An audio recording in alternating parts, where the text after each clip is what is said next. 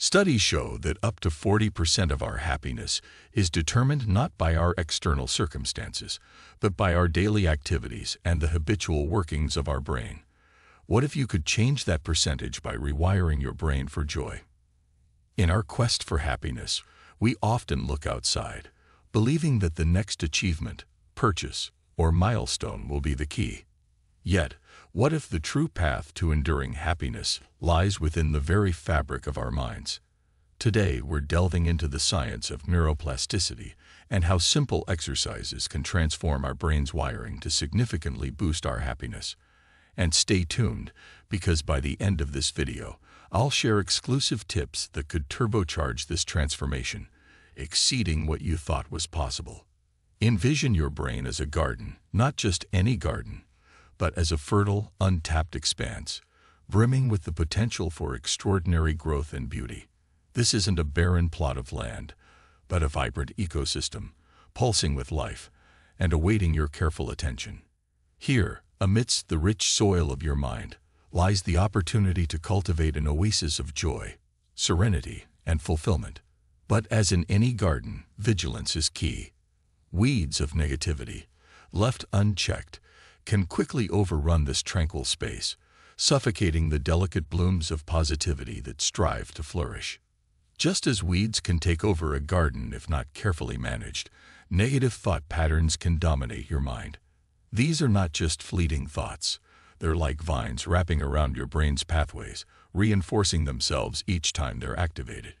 Now, imagine these weeds growing thicker and spreading further each day, overshadowing the vibrant flowers and plants that represent your joy, creativity, and positivity. Without intervention, these weeds can become so dense that they block out the sunlight, preventing new growth and stifling the beauty that lies beneath them. This garden analogy isn't just a metaphor, it's a reflection of how our neural pathways work.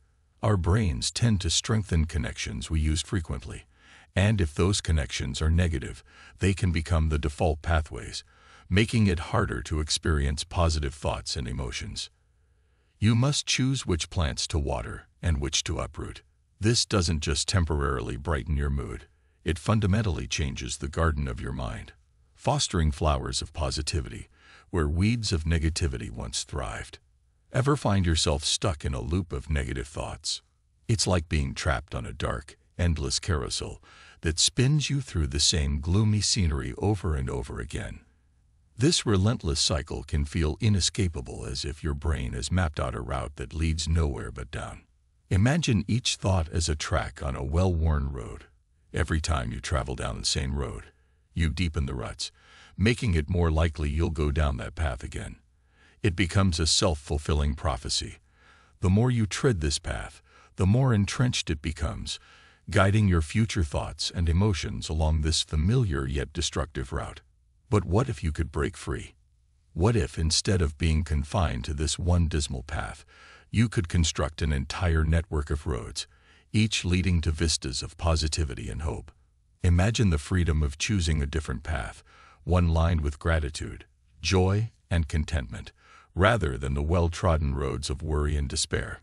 Gratitude journaling acts as a construction crew for your brain, building new positive pathways. This simple practice can shift your focus and drive your thoughts down new, healthier roads, making happiness not just a destination but a journey you're actively constructing. Feeling like change is out of reach.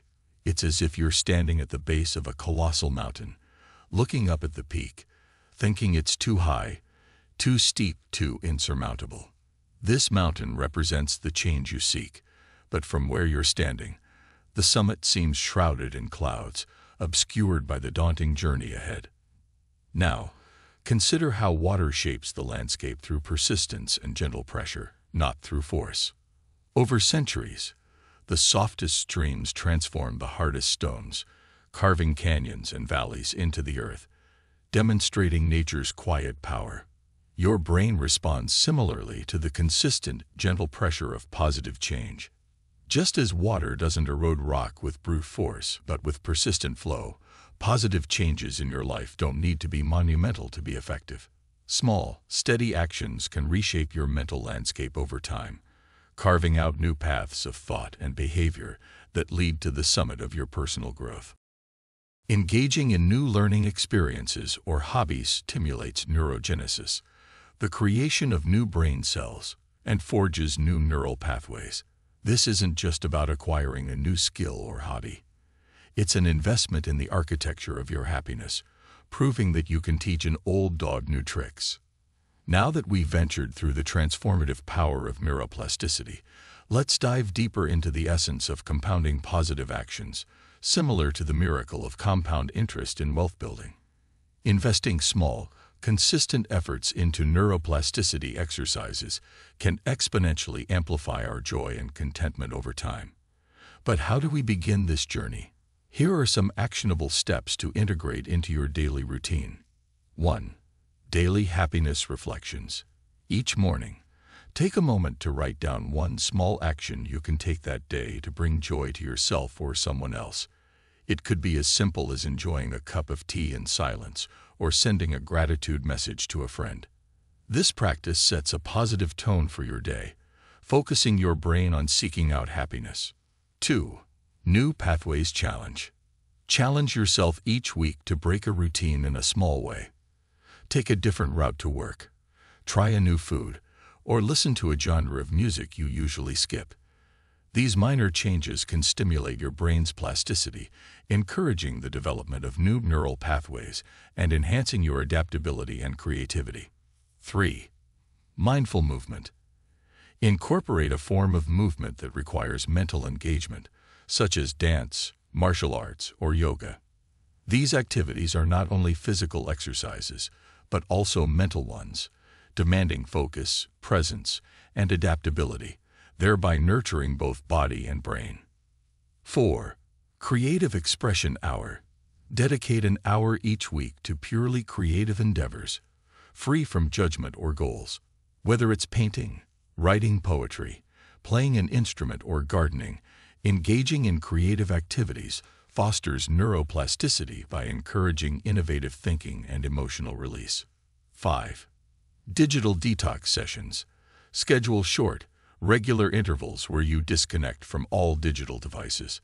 Use this time to engage with the world directly, enhancing your sensory experiences and reducing the mental clutter associated with constant connectivity.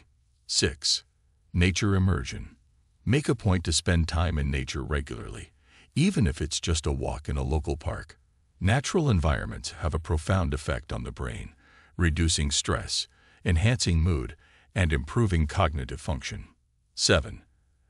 Acts of Kindness Calendar. Keep a calendar where you plan one act of kindness each week. This could range from volunteering for a local charity to helping a neighbor. Acts of kindness enrich others' lives and significantly boost your own happiness by reinforcing positive social connections. By integrating these steps into your life, you're not merely changing your brain. You're embarking on a journey to transform your entire existence. Start small, embrace consistency, and allow the beauty of compound interest in neuroplasticity to unfold. If you found value in the video, please leave a like and consider watching this video next.